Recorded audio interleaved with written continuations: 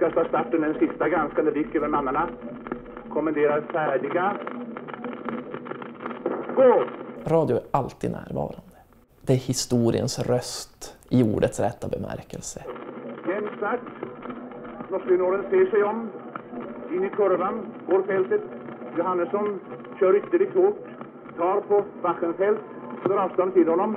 Norrbotten är speciellt just för att det ingick i Eh, vad ska vi säga, de militära stödjepunkterna för Sverige under tidigt 1900-tal.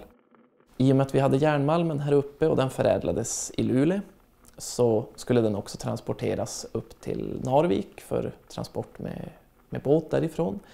Och då byggde man det man kallade för fästning Boden som försvar av järnvägen.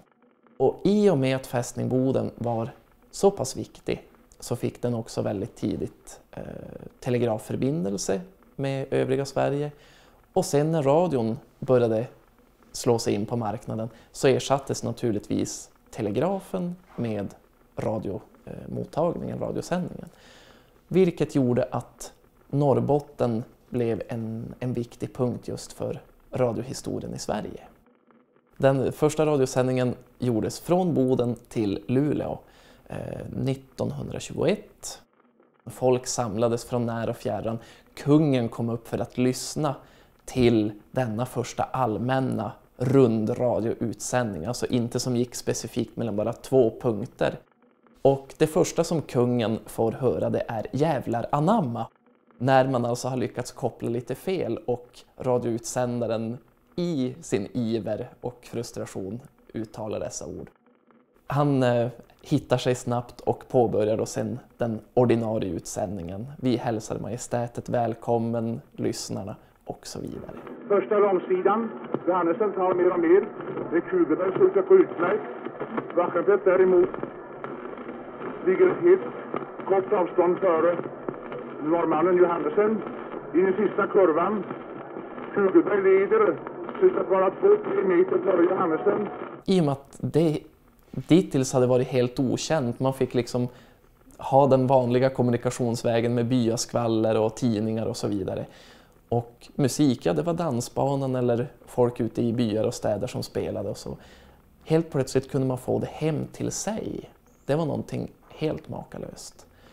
Och det finns en beskrivning när man skickade de första sändningarna ut till, ehm, eh, till skepp ute till havs. Så var det någon som sa att hade man fått kontakt med andevärlden så hade inte det varit mer märkvärdigt. Johannesson knappar in nu under korvloppet. In på upploppssidan. Där ligger svenskarna. Det är på Kugelberg Vattenfälts jämsides.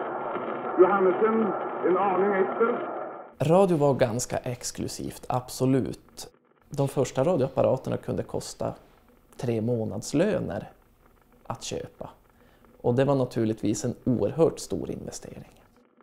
För många gällde det kanske att istället skapa en radiolyssnarförening eller ett sällskap där man gick ihop några familjer eller kanske en by och sen kunde man lyssna på radio tillsammans. Det är egentligen på 40-talet först som radio faktiskt blir så allmän att alla kan ha råd med en.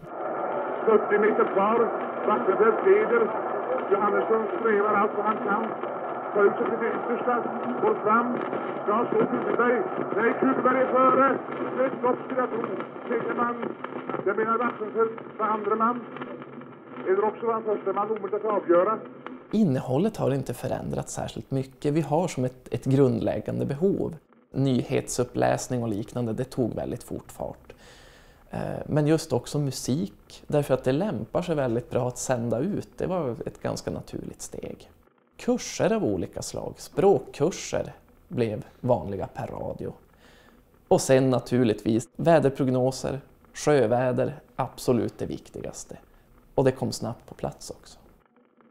P1 var naturligtvis första programmet, men i Röster i radio tidningen som då började komma ganska snabbt också, så stod det också tablåer för de europeiska programmen.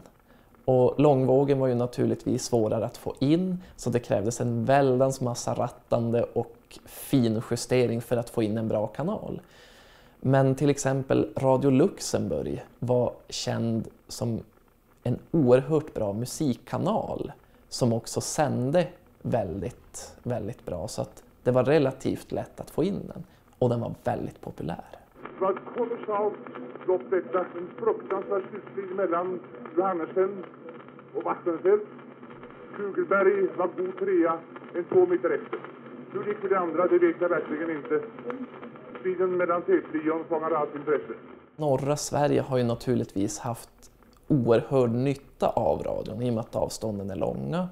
Kommunikationerna går relativt långsamt i början på 1900-talet.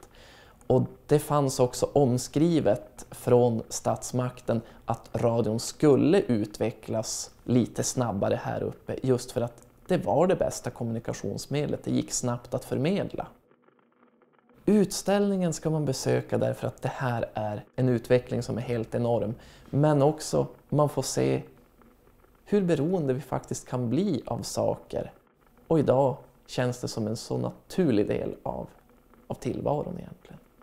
Så här kan man se hela utvecklingen.